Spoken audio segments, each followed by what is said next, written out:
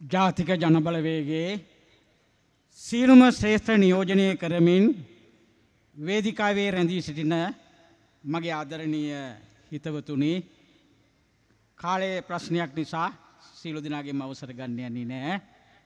ඒ වගේම පෙපිලියන්දල සෝමිර චන්දසිරේ ක්‍රීඩාංගණයට එකතු වී සිටින ආදරණීය මවුරුණි පියවරුණි සහෝදර සහෝදරියනි. අන්න දිසානායක සහෝදරය ආපු ගමන් මම මගේ කතාව බ්‍රේක් ගහනවා. ඒ නිසා තිරිංගයට මගේ කකුල තියාගෙන මම මෙතන මේ කතා කරන්නේ. මොකද ඊට පස්සේ අනුර සහෝදරයා දර්ගනගරයට යන්න ඕන. ඇත්තටම කියනව නම් දැන් කතා කරන්න දේවල් ඉතුරු වෙලත් නැහැ. කතා කරන්න ඕන දේවල් අපි ඔක්කොම කතා කරලා තියෙනවා. පෞද්ගලිය ගත්තොත්තේ මම එදදාර නමසි අනු හතරේ ඉඳං කතා කරනවා. දේශපාලන වේදිකාව. එදා නමසේ අනු හතරේ මං කතා කරන්න පටන් ගන්නකොට මගේ මේ කොන්්ඩේ හොඳට තිබ්බා. අවුරුදු විසි ගණන්වල කොල්ලෙක්. මම රජයේ රෑකියාවක් කරානං ලබන අවුරුද්ධ අප්‍රේල් හතරවෙනි ද වෙනකොට මන් රිටයි වෙන්ඩ වුණා. ඒ නිසා එච්චරටම කාලයක් කතා කරලා තියෙනවා. නිරාමිස සතුටක් තියෙනවා. අපි කතා කරපු දේ අයාලෙගිල්ල නෑ. අපිට තිබ්බ හොඳ ඉවසීමක්. ඒ විසීම ඉවසීම අපිට පක්ෂෙන් හොඳට ප්‍රගුණ කළා. ලබන සැප්තැම්බර් විසියෙක් වනිදා ලබන සැප්තම්බර් විසියෙක් වනිදා ඇත්ත නිදහස මේ රටට අත්පත් කරලා දෙනවා. පළවෙනි වතාවට ඇත්ත නිදහස අවුරුදු හැත්තහයක් නෙමෙයි මේක. අවුරුදු පන්සිය දහනම් එකට පස්සේ ස්වදේශික පුරවේශයෝ ලබාගන්න නිදහසක්. සැප්තැම්බර් විසි දෙවනිදා උදේ වෙනකොට මේ රටේ ජනාධිපති සහෝදරයෙක් මේ රටේ ජනාධිපති අනුර කුමාර දිසානායක සහෝදරයා මේ සෝම්‍යන චන්දසිරි ක්‍රීඩාපිටයට බැලුවට පස්සේ මට ලොකු ඉතිහාසයක් තියෙනවා. කියන්න දේවල් ගොඩක් තියෙනවා. මේ පිටිපස්සේ තියෙන අංක එක කනිෂ්ඨ විද්‍යාලයේ මම හෝඩිය පන්තිය හදාරන්න අධ්‍යාපනය පටන් ගත්තේ. හෝඩිය පන්ති අපිට අකුරු ගැන්ුවේ නෑ දැම් මොන්ඩිසෝරිය අකුරු ගන්නනවා. අපි දානවා මේ ග්‍රවුන්් එකට හෙවන තියෙන වෙලාවට. මේ තමුන්නාසලා ඉන්න ඔය වැටයින ඔය පැත්තේ තිබ්බේ පාර තිබ්බ පාර පලල් පාරත් තිබ්බා ඒ පාර අයින්නේ තියෙන්නේ මාර්ර ගස් ඇහැල ගස් තිබ්බා. මේ පිටිපස්සෙත් ඒමයි ඇහැල ගස් පේලියත් තිබ්බා. අප්‍රේල් මැයි වෙනකොට හරි ලස්සනයි මේ පිළියම්දල කහපාටට මල්පිපිලා රෝසපාට මල්පිපිලා ඒවා විඳිනවා අපි. එද්දා නමසය හැත්ත හතට ඉස්සල හැත්තහය හැත්ත හත ගණන්වල මම මේ කියන්නේ. අපි මේකේ ක්‍රිකට් ගහනවා. මං මේකේ මීටර් පණහ දුවල තියෙනවා. මීට සිය දුවල තියෙනවා. කවදක්ත් පලවෙනිය වුණේ නෑ ඇැබැ දවා දුවල තියෙනවා. හරි? මේක පුට්පෝල් ගහලා තියෙනවා. ක්‍රිකට් ගහලා තියෙනවා. මේක අපි සෙල්ලං කරලා තියෙනවා. එතොට මට අවුරුදු දොළහත් විතර ඇති මේ කාලවක වනේ මම මේ කියන්නේ. අපි මේක සෙල්ලං කරනකොට මේක අයිනේ කට්ටියක් හිටියා ටිකක් උස්ස මහත කට්ටියක් මහිතන විදියට ඒ කාලේ හැටියට ඒගොල්ලන්ට අවුරුදු 45ක් විතර වයසයි. ඒගොල්ලෝ සරම අදින්නේ මේ බඩ මැද්දට. බඩ මැද්දට සරම අදින්නේ. හරි? දැන් අද නම් ගහනවනේ ටැටූ කොටනෝනේ නේද? ඉස්සර එච්චර එහෙම ටැටු කොටපු කට්ටිය අපිට අහු වෙන්නේ නැහැ. අපි ඒකට එලකොන්ට කියන්නේ පච්චකාරයෝ කියලා. පච්චකාරයෝ කියලා. ඒගොල්ලෝ අර බඩ මැද්දට සරම් ඇඳලා උස මහත කට්ටිය ඒගොල්ලෝ ගහනවා ටීප් බූල. ඔය අයිනේ ටීප් බූල ගහනවා. ඊට පස්සේ ඒගොල්ලෝ සරුංගල් අරිනවා. ඒගොල්ලෝ සරුංගල් අරිනවා. ඒ ටීප් බූල ගහපු කට්ටිය ඒ සරුංගල් අරපු කට්ටිය මෙන්න 77න් පස්සේ අපිට පේනවා මේ තෙල් මේ තෙල් සංස්ථාවේ ක්‍රියාකාරී අධ්‍යක්ෂකවරු වෙනවා. හරි මේක ලොකු කතාවක් මම මේ කියන්නේ බොහොම කෙටියෙන් සාහිත්‍ය දාගෙන. හරි ක්‍රියාකාරී අධ්‍යක්ෂකවරු බවට පත් වෙනවා. තව කට්ටියක් ලංකා පිළියන්දල පිඟන් සංස්ථාවේ අධ්‍යක්ෂකවරු බවට පත් වෙනවා. හරි රාජ්‍ය ආයතනවල ලොකු පුටුවල ඉන්නවා. මේ කුණුහරුප ගිය කී හිටපු කට්ටිය. අර පොඩි උන්ට කුණුහරුපෙන් බැන බැන හිටපු කට්ටිය. ඇත්ත. හරි? එහෙම වෙනවා. හරි? ඒ මාර වැඩක්. හරි ඒක ප්‍රතිඵලය ලබලා තියෙනවා. ඒ කට්ටිය ක්‍රියාකාරී අධ්‍යක්ෂකවරු වුණාට. අද පිගන් සංස්ථාවක් නැහැ. හරිනේ? පේනවනේ නේද? රටට මුණේ මොකද්ද කියලා? නේ? ඔන්න අපේ රටේ. හරි? ඒකයි ඒකයි මම මේ කියන්නේ. ඒ වගේම තමයි 1982 මම මගේ ජීවිතේ රෝහණ විජේවීර සහෝදරයා දැකලා තියෙන එකම එක දවසයි තත්පර ගානයි. හරි? 1982 ජනාධිපතිවරණේ අපිට මොකක් හරි අමාරුවක් තිබිලා තියෙනවා ඒ කාලේ අවුරුදු 17 දී. හරි? අවුරුදු 17 දී මම ජනතා විමුක්ති පෙරමුණේ නායකයා රෝහණ විජේවීර මේ මෙතන වේදිකාවට ආවට පස්සේ ඒ රැස්වීම බලන්න ආව තනියෙන්. මොකක් හරි අමාරුවක් තිබිලා තියෙනවා නේද? ආවා. හරි? තනියෙන් ආවා. ඇවිල්ලා රෝහණ විජේවීර සහෝදරයා කතාව කරලා යනකොට අපිට රිංගන්න පුළුවන්නේ ඒ කාලේ එච්චර මම අවුරුදු 17ක් වුණාට ඇත්තටම අපි මම අවුරුදු 17ක් කියලා පේන්නේ නැහැ. මම අපේ ඉස්කෝලේ පන්තියේ හිටපු පොඩිම එකා. ඒ සමන් රිංගල ගිහිල්ලා රෝණ විජේවිද සහෝදරයාගේ මූණ දැක්කා. මූණ දැක්කා. හරි? ඒ කාලේ තිබ්බා 71 අරගලෙන් පස්සේ අපිට සාහිත්‍යය ඇතුලේ ඇවිල්ලා තිබ්බා. මෙහෙම එක්කෙනෙක් ඉන්නවා කියලා. ඒක නිසා ආසාවක් තිබ්බා යව බලන්න.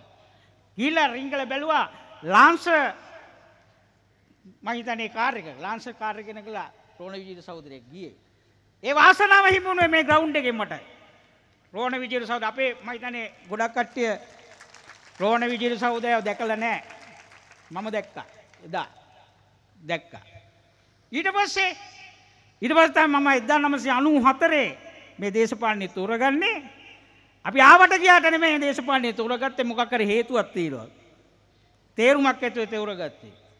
ඊට පස්සේ තමයි 1997 මම මේ ප්‍රාදේශ සභාවට ආවේ මට මම ප්‍රාදේශ සභාවට යන්න පක්ෂ වැඩ කරා නෙමෙයි පක්ෂෙන් කිව්ව ඵලයන් කියලා. ඉතින් ගියා. ඊට පස්සේ මේ මේ පිළියන්දල සෝමවීර චන්ද්‍රසේන ක්‍රීඩාංගණයේ තිබිච්ච ජනාධිපති වන කීපයකම මං ඒ වේදිකාවල ආමන්ත්‍රණය කරා. මොකද්ද? 2005 මහින්ද රාජපක්ෂ ජනාධිපති කරන්නේ. ඒ ගත්තු අපි එක තීරණයක්වත් වැරදි නෑ. දැන් සමහර අය ඒක වැරදි විදිය නෑ අපි ගත්තු තීරණේ හරි. ඒ වෙලාවට ඒ අනුව මහ පොළොවේ ඉඳන් දේශපාලනය කරනවා නම් පක්ෂයේ තීරණ තීන්දුව ඒ වෙලාවේදී ගන්න ඕන. ඒසයි තීන්දුව ගත්තා. ඒ නිසා 2005 මහින්ද රාජපක්ෂ ජනාධිපති කරන්න මේකේ ගොඩක් අර හිටපු කට්ටිය ලොකු සංවිධායකලු කට්ටිය හිටියේ නෑ. අපි වැඩේ අතර ගත්තා. හරි ඒ වෙලාවේ හිටපු එක සංවිධායකට මං කතා කරලා ගෙන්න ගත්තේ සාකච්ඡාවට. මොකද අපිට දේශපාලන උවමනාවක් තිබ්බා සම්දාන හැටියට. ඊට පස්සේ වේදිකාවේ මම කතා කළේ තිබ්බ වීදුරු පෙට්ටියක් හදලා මහින්ද රාජපක්ෂ මහත්තයා ආරක්ෂා කරගන්න. කතිකයා කතා කරන්නේ වීදුරු පෙට්ටියේ ඉඳලා. හරි ඒක හරි අමුතු ඒ වීදුරු පෙට්ටියට ගියාට පස්සේ මේ කවුරක්වත් පේන්නේ නැහැ. වීදුරුවට කතා කරනවා. හරිද? ඒකද? මහින්ද මහත්තයා කතා කරත් වීදුරු පෙට්ටිය ඇතුළේ. අපි කතා කරත් වීදුරු පෙට්ටිය ඇතුළේ. හරි? මහින්ද රාජපක්ෂව අපි ජනාධිපති කළා. ඒ දෙදස් පහේ. ඊට පස්සේ දෙදස් එකොලේ අන්න ඊළඟට සරත් පොන්සකව ජනාධිපති කරන්න අපි තීරණයක් ගත්තා. ඒකත් වැරදි නෑ කවුරුහරි කියනවනම් වැරදිී කියලා වැරදි නෑ ගත්තු තියෙන ඔක්කොම ගත්තා. හරි මොකද අපේ ජනාධිපති කෙනෙක් ජනාධිපති කරනව නම් රටේ ජනතාව ලෑස්ති නම් අපි එහෙම කරන්න ඕනේ නැහැ. හැබැයි අපි අත්හැරලා ඉන්න බෑ. හරි ඒ නිසා ඒකත් අග ඒත් ඒ වේදිකාවෙත් මං කතා කරා. ඒ වේදිකාවෙත් කතා කරා. කොහොම හරි මේක තමයි ඇත්ත හදවතින් හැඟීමෙන් කතා කරන ඒවා කතා කරනකොට අපි පොඩි චකිතයක් එක්ක තමයි හිටියේ. හරි. ඒ අවශ්‍ය දේශපාලන අවශ්‍යතාව ඉෂ්ට කරගන්න අපි වේදිකාවේ කතා කළාට හරි. සර්ව සම්පූර්ණ රටේ නිදහසත්පත් කරගන්න නෙමෙයි. අපි දැනගෙන හිටියා මහින්ද රාජපක්ෂ ජනාධිපති කළා රට හදන්න බෑ. හැබැයි ඒ වෙලාවේ තිබ්බ ජාතික ප්‍රශ්නයත් එක්ක ප්‍රශ්නයක් තිබ්බා. අන්න ඒ ප්‍රශ්නෙත් එක්ක අපි පෙළ ගැවුණා.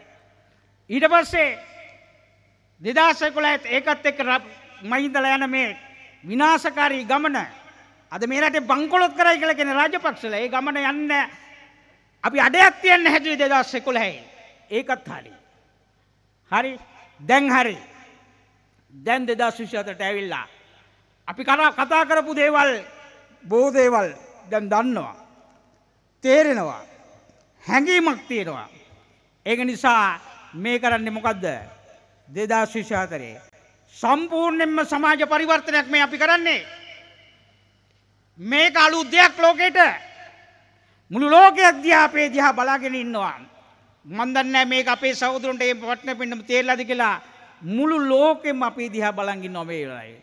මොකද්ද? ලෝකෙ නොවිච්ච වැඩක් ලංකාවේ වෙන්න යනවා.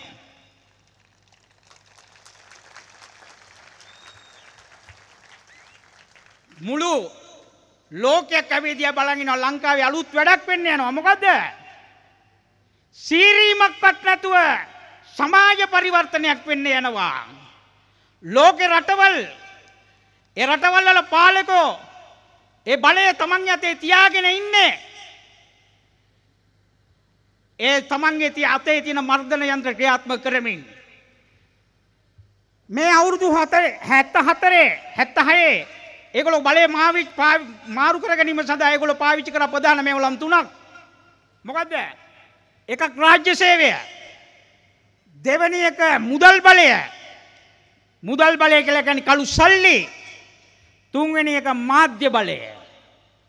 දැන් තමුන්නාන්සලා මේ කැස් බෑව ආසනේ ওই විවිධ පක්ෂවලට කඩේ ගිය විවිධ පක්ෂවලට වැඩ කර ඒක තමුන්නාන්සලාගේ වැරද්දක් නෙමෙයි. හරි? එහෙම කටයුතු කරපු තමුන්නාන්සලා අද මේ පිළියන්දල පිරෙන්න උතුරල යන්න මේ පිළියන්දල වාර්තාවක් මේ පිළියන්දල වාර්තාවක් අද මම මේ ජනාධිපති වන වේදිකාවල මම ඉඳලා තියෙනවා. මේ ජනාධිපති වන වේදිකාවල් දිහා ඉඳගෙන මං ජනතාව දිහා බලලා තියෙනවා. මේවැනි සෙනගක් මේ ඉතිහාසයේ පිළියන්දල සෝමවීර චන්දසිරි ක්‍රීඩාංගණයට එකතු වෙලා නැහැ. ජීවන අත්දැකීම්. ඒ නිසා ඒ ඒගොලන්ට බලය මාරු කර ගැනීම සඳහා ඒවගොල පාවිච්චි කරපු අර මෙවලම් තුන රාජ්‍ය බලය කළු සල්ලි හා මාධ්‍ය බලය ඒ කිසිදු බලයක් නැතුව තමයි තමුන්නාන්සල අපිට එකතු වෙලා තියෙන්නේ. අපිට රාජ්‍ය බලයක් තියෙනවද? අපිට කළු සල්ලි තියෙනවද? අපිට මාධ්‍ය බලයක් තියෙනවද? නෑ. ඔය එක මාධ්‍යයක්වත් නෑ. ඒකෙන් කියන්නේ නෑ මේ මාධ්‍යවල ඉන්න මාධ්‍යකරු අපිත් එක්ක නෙමෙයි කියලා නෑ ඒගොල්ලෝ අපිත් එක්ක ඉන්නේ.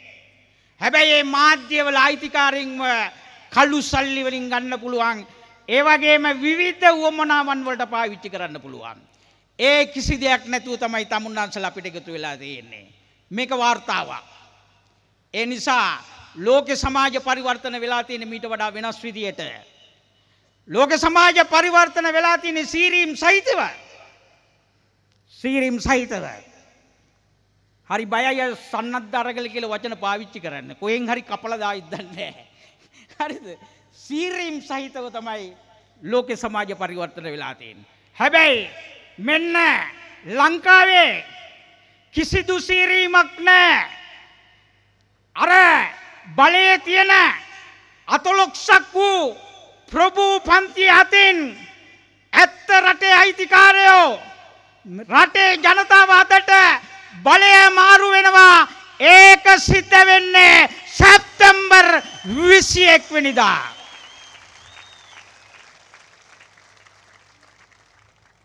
ඒක ඉතින් ලෝකෙට අලුත් නැද්ද? අලුත්. අලුත්. එක අලුත්. ඒ නිසා හැබැයි ඒක අවධහන නළුවන් නිලිය නයා ඒකනි උනේ. වැඩිපුර නාට්‍ය ඒ කාලේ හිටියේ නයි. ඒ නයි කතා කරනවා අන්නේ වගේ කිව්වා කැලණිගඟ දෙපෑ කරගෙන ආපු ණයත් කතා කරයි කියලා කිව්වා. ඒ ණය කිව්වයි කිව්වා ගෝඨාභය රාජපක්ෂ කියලා කියන්නේ දියසන් කුමාරයා.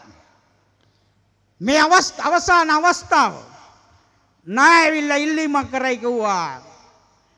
කැලණි පන්සලේ හාමුදුරන්ගෙද මන් දන්නේ නැහැ නේද? පන්සලේ හාමුදුරන්ගෙන් වෙන්නේ නැති. ඉල්ලීමක් කරයි කියලා කිව්වා. ගෝඨාභය රාජපක්ෂට ඡන්දෙ දෙන්න කියලා. චැනල් වලින් කිව්වේ චැනල් එකකින් කිව්වේ. මොකද උනේ අපි පිළිගන්න ඕන ඇත්ත කාරණයක් මොකද්ද? අවංකවම. අවංකවම පිළිගන්න ඕන. අපේ රටේ අධ්‍යාපන සාක්ෂරතාවය හරි හොඳයි. හැබැයි දේශපාලන සාක්ෂරතාවය සම්බන්ධව අපිට සතුටු වෙන්න බෑ. අන්න ඒ පාලකෝ ප්‍රයෝජනට ගන්න හැටි. අන්නේ පාලකෝ වැඩේ හදන හැටි. අන්නේ පාලකෝ මිත්‍යාව වපුරන හැටි. ඒගොල්ලෝ කිව්වා අන්න කැලණි නාගරාජයත් ඇවිල්ලා කිව්වා ගෝඨාභය රාජපක්ෂට ඡන්ද දෙන්න කියලා. ඒ නිසා රට බේරගන්න ඉන්නේ ගෝඨාභය රාජපක්ෂ කියලා කිව්වා. වැඩ කරේ නැද්ද? වැඩ කළා. නෙළුම් පොහට්ටු අරගෙන කැලණිය වන්දනාව ගියේ නැද්ද? ගියා ගෝඨාභය රාජපක්ෂව ජනාධිපති කළා කළා ගෝඨාභය රාජපක්ෂව ජනාධිපති කළා ඊට පස්සේ කවුරුවක්වත් ඇහුවද කෝ ණයා කියලා හෙව්වද කවුරුවක්වත් ඡන්දෙන් පස්සේ කල්පනා කරාද අර ණයා පොඩ්ඩක් බලන්න යන්න ඕනේ කියලා ඒ ඡන්දේ දවස් ටිකේ මම හිතන්නේ ගියා ඊට පස්සේ හෙව්වද ණයාට මොකද වුනේ කියලා. තාමත් ණයා ඉන්නේ පන්සලේ බෝතලයක් ඇතුළද එහෙම නැත්නම් ණය අරගෙන ගිහිල්ලා මේ බෙල්ලන්විල වැවට දැම්මද? නේද? අත්තිටියට මුදා හැරියද? එහෙම නැත්නම් නැවත ණයව ගඟට දැම්මද? කවුරක්වත් හෙව්වේ නැහැ. ණයාව විතරයි. අන්නේ වගේ තමයි. මේ ඉතිරි වෙලා තියෙන දවස් 29 ඊ타මත්ම තීරණාත්මක දවස් 29ක් මේ ඉතිරි වෙලා තියෙන දවස් 29 කියලා කියන්නේ අපි සීරුවෙන් ඉන්න ඕන දවස් 29ක් මේ ඉතිරි වෙලා තියෙන දවස් 29 කියලා කියන්නේ අපි නිතරම අවදියෙන් ඉන්න ඕන දවස් 29ක් මේක හරියට ලොව හෙල්ලූ දවස් 29 බවට පත් වෙනවා ලොව හෙල්ලූ දවස් 29 රුසියන් විප්ලවයේ අවසාන දවස් 10 අපි කියනවා ලොවහෙල්ලූ දස දවස කියලා. ඒ නිසා ලොවහෙල්ලූ දස දවස සම්බන්ධව පොත් ලියලා තියෙනවා. ඇත්තටම මේ ලියන්න වෙන්නේ අපිට අලුත් ඉතිහාසයක්. අලුත් පරිච්ඡේදයක් අපි පටන් ගන්නෑ. ඒ නිසා අපිට දැන් හරි දැන් දිනුම් කියලා කරබාගෙන ඉන්න බෑ. මේ පාලකෝ එච්චර ලේසියෙන් මේ වැඩේ අපිට කරගන්න දෙන්නේ නෑ මේ දවස් 29 ඇතුළත. ඒ නිසා අද අද මේ පිළියන්දල සෝමීර චන්දසිරි ක්‍රීඩා පිටියට ඇවිල්ලා අද මෙතනින් එල්ලියට යන ගෙවල් වලට යන තමුන්නාන්සලා ඉන්ඩෝනේ ක්‍රියාන්විතයේ ඉන්ඩෝනි. කොහෙද? ගම්වල ඉන්ඩෝනි. ග්‍රාමසයා වසම ඉන්ඩෝන මොකටද එනවා නොයෙක් අවලාද මඩ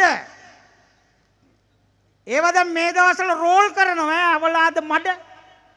බොරු ප්‍රචාර අපි සම්බන්ධව බීතියට පත් කරන දේවල් ඒව දැන් මේ දවස්වල රෝල් කරනවා. මේ දවස්වල ඒවා රෝල් කර කර රෝල් කර කර එවනවා. අපි උදේට නැගිටලා බලන්න ඕන. මේ මේ ප්‍රභූ පැලැන්තිය මේ පාලකයෝ මොනවද අපි වෙනුවෙන් අලුතෙන් රෝල් කරලා තියෙන්නේ? මොන වගේ රෝලක්ද අද දවසේ ගහලා තියෙන්නේ? උදේ නැගිටලා බලන්න ඕන. ඒගොල්ලෝ තාක්ෂණය භාවිතා කරනවා වගේම අපිත් තාක්ෂණය භාවිතා කරනවා. අපිටත් අපි තාක්ෂණය අත්පත් කරගෙන තියෙනවා. තාක්ෂණය අයිති. ලෝකෙ තාක්ෂණය අයිති ඒගොල්ලන්ට විතරක් නෙමෙයි. ඒ තාක්ෂණය අපිටත් අයිති. අපි අපි සන්නද්ධ කරලා තියෙන්න දැනුමෙන්. ග්‍රාම සේවා වසම ඉන්න සාමාජිකයා දක්වා අපි WhatsApp group හදලා තියෙනවා. ඒකට අපි පණිවිඩ එවනවා. ඔන්න අද අපිට වෙනුවෙන් රෝල් කරලා එවලා තියෙන්නේ මේක. වහාම යන්න. ගමේ ගෙවල් වලට යන්න. පැහැදිලි කරන්න. අවුවෙන්න එපා. මේක තමයි ඒගොල්ලන්ගේ දේශපාලනේ ඒගොල්ලන්ට වෙන දෙයක් නෑ. ඒගොල්ලන්ට වෙන දෙයක් ඉතුරු වෙලා නෑ. එහෙනම් කවුද ක්‍රියාන්විතේ ඉන්න ඕනේ? අපි. අපිට උදව් කරයිද මාධ්‍ය? මේ මාධ්‍යවල උදව් කරයි. මාධ්‍ය වේදින්නේ මේ මම නැවතත් කියනවා. මේ මාධ්‍යවල අයිතිකාරයෝ කළු සල්ලි අපිට උදව් කරයි. ඒවා කළු සල්ලි වලට යට කරගන්න පුළුවන් මාධ්‍ය ආයතන. එහෙම නොවන මාධ්‍ය ආයතනයක් තියෙනවා නම් ඒකට ගෞරවය තියෙනවා. එහෙම නොවන YouTube channel එකක් තියෙනවා නම් ඒකට ගෞරවය තියෙනවා. ඒවට නෙමෙයි මේ කියන්නේ. හැබැයි ඒ ඒගොල්ලන්ගේ කළු සල්ලි වලට රාජ්‍ය බලයට අහු වෙන්න කොටසක් තාමත් ඉන්නවා.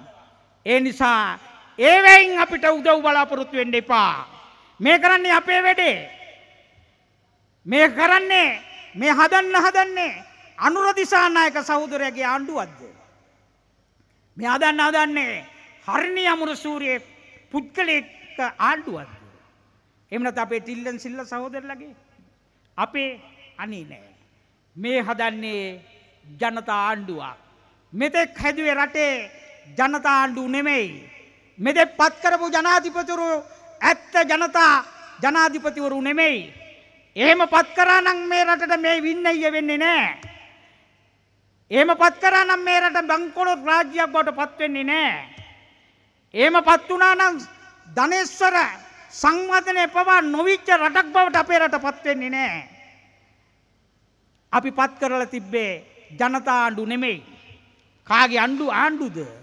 අතලොස්සකගේ ආණ්ඩුව. ප්‍රභූ පෙළැන්තිය ආණ්ඩුව.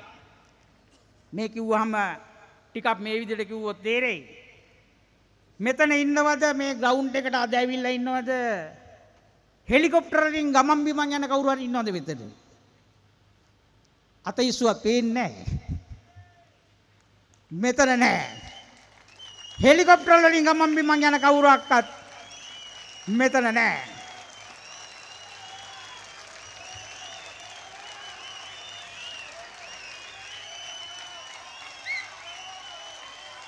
ජාතික ජනබලවේගයට ජාතික ජනබලවේගයට අනුර කුමාර දිසානායක සහෝදරයට අනුර කුමාර දිසානායක සහෝදරයට අනුර කුමාර දිසානායක සහෝදරයට මාලිමාවට මාලිමාවට මාලිමාවට